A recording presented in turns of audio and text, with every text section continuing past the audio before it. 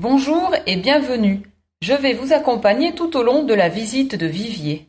Vous êtes sur le parking du Creux et je vous ramènerai jusqu'ici après un parcours de 2,2 km et d'une durée variable entre une et deux heures de visite. Au cours de cette visite géolocalisée, vous pourrez suivre l'itinéraire d'étape en étape. Ces étapes sont représentées sur la carte avec des icônes bleues et numérotées. Vous trouverez à chaque étape une icône avec la mention Lancer la visite sur laquelle vous devez cliquer pour faire appel à mes services. Vous trouverez aussi parfois une icône Info que vous pouvez consulter en cours d'étape. Avant de commencer, je me dois de vous rappeler une évidence. Vous devez faire preuve de la plus grande prudence au cours de cette visite. Les fichiers audio guides que nous vous proposons se consultent exclusivement à l'arrêt lors des points d'étape. Vous ne devez en aucun cas conduire ou marcher en regardant votre tablette ou votre téléphone.